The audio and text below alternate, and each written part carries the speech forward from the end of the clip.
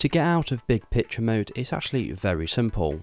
So the first thing you want to do is make sure on the home screen that looks like this. So if you're in your library or something, you just want to keep going back until you get to this screen.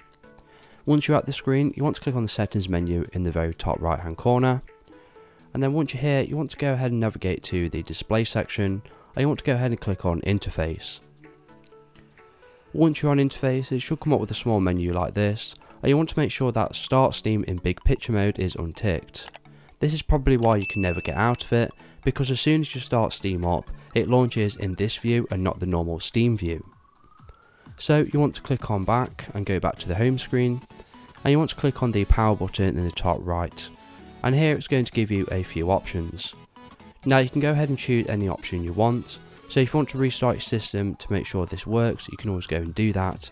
However, you can always just click exit big picture, and it will take you back to the normal Steam view just like this.